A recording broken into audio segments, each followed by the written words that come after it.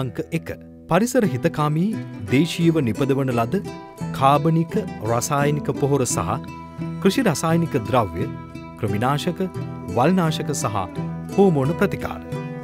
දෙක ගොවිපල පිරිවැය අවම කිරීම සහ කෘෂිකාර්මික යන්ත්‍රෝප කරන හඳුන්වාදීම. තුන ලංකාව පුරා පවතින කෘෂි බිම්වල වනසත්ව හානි අවම කිරීම. හතර පසුවස්වනු හානි අවම කිරීම සහ අගය එකතු කළ දේශීය කෘෂිකාර්මික නිෂ්පාදන. පහ කෘෂිකර්මාන්තයේ වැඩිදියුණු කිරීම සඳහා තොරතුරු තාක්ෂණය සහ නව තාක්ෂණික යෙදවුම් භාවිත කිරීම.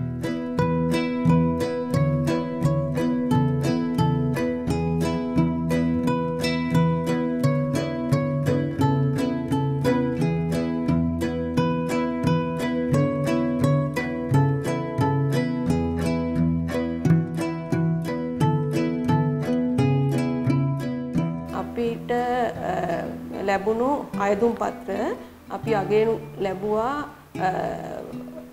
විශේෂයෙන්ම අපි හඳුනාගත්ත ප්‍රවීණයන්ගෙන් සැඳුම්ලත්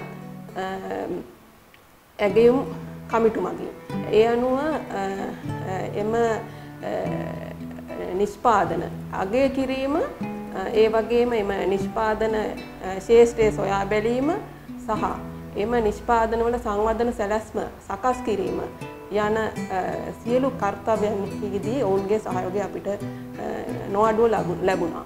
විශේෂයෙන්ම කෘෂිකර්ම දෙපාර්තමේන්තුව ඒ වගේම කෘෂිකර්ම දෙපාර්තමේන්තුව යටතේ පවතින පලිබෝධනාශක රෙජිස්ටාර් කාර්යාලය ඒ වගේම ගොවිපල යන්ත්‍රෝපකරණ පර්යේෂණ ආයතනය තිරසර කෘෂිකර්ම පර්යේෂණ හා සංවර්ධන ආයතනය ඒ වගේම උද්‍යාන භෝග පර්යේෂණ ආයතනය මහයිලු උප්පල්ලම පර්යේෂණ ආයතන වගේම ජාතික කෘෂි තොරතුරු හා සංනිවේදන මධ්‍යස්ථානය.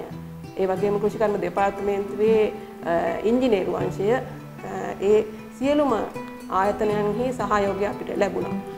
ඊට අමතරව කෘෂිකර්ම අමාත්‍යංශය යටතේ පවතින ජාතික පසුවස්සන තාක්ෂණ ආයතනය.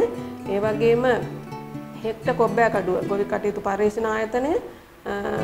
වගේම කෘෂිකර්ම රාජ්‍ය අමාත්‍යංශය යන සියලුම ආයතනයන්ගේ සහයෝගය අපිට ලැබුණා. මීට අමතරව අපි ඔබට ප්‍රකාශ කරා විවිධ පාර්ශවයන්ගේ සහයෝගය ඇතුව තමයි අපි මේ ව්‍යාපෘතිය කටයුතු එළි දැක්වේ කියලා.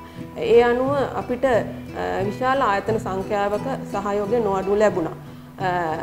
ඇත්ත වශයෙන්ම පෙරදිනී විශ්වවිද්‍යාලයේ පශුවෛද්‍ය පීඨය. ඒ වගේම සබරුපුගමුව විශ්වවිද්‍යාලය. ආදී විශ්වවිද්‍යාලවල සහයෝගය අපිට ලැබුණා. ඒ වගේම කාර්මික තාක්ෂණ ආයතනයේ ජාතික ඉංජිනේරු පර්යේෂණ හා සංවර්ධන මධ්‍යස්ථානය. වනජීවි සංරක්ෂණ දෙපාර්තමේන්තුව වැනි ආයතන ශ්‍රී ලංකා නැනෝ තාක්ෂණ ආයතනය ඒ වගේම නවීන තාක්ෂණය පිළිබඳව ආතරසී ක්ලාක් මධ්‍යස්ථානයේ සහයෝගයක් අපිට නොඅඩුව ලැබුණා. මීට අමතරව මේ ඇගයුම් කටයුතු වලදී ඔබට ඉදිරියේ දැන ගැනීමට ලැබේවි. අපිට අපි කෘෂිකර්ම කෘෂි ලෝකය දිනවන්න තමා කටයුතු කරන්නේ. ඒ අනුව කුරුඳු පර්යේෂණ ආයතන, ඒ වගේම පොල් සංවර්ධන පොල් පර්යේෂණ ආයතනය, ඒ වගේම කජු සංවර්ධන මණ්ඩලය වගේ විවිධ ආයතනවල නිෂ්පාදනත් අපි මගහැරියේ නෑ. අපේ වෙත ආපු නව නිපැයම් කරුවා අපි අගයලා ඔවුන්ගේ සංවර්ධන කටයුතු සඳහා අවශ්‍ය සහයෝගය ලබා දීලා තියෙනවා. මුල සිට අවසානයේ දක්වාම නව නිපැයම්කරුවන්ගේ කොමිසම අපිට විශාල සහයෝගයක් ලබා දුන්නා මෙම කටයුත්තේ ඇගයුම් කටයුත්තේ සිට මෙම නිෂ්පාදන ඉදිරියට ගෙනියන්න ඕන කොහොමද කියන මඟ පෙන්වීමත් ඔවුන් අපිට ලබා දීලා තියෙනවා.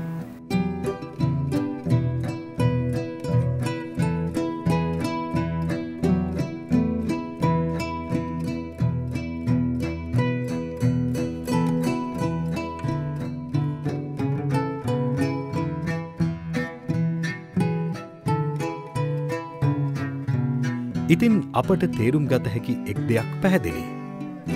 අපේ රටේ හෙට දවසට මොන්න තරම් නව නිර්මාණ නවීකරණය වන උපකරණ අපේ රට තුළ නිර්මාණය වෙයිද.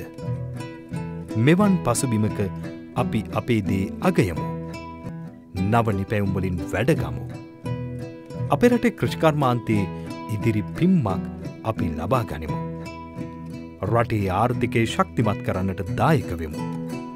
ඒ තුළින් අපි ලබන ආදායම්වලටත් වඩා අපි ලබන ආත්ම තෘප්තිය මිල කළ හැකිද.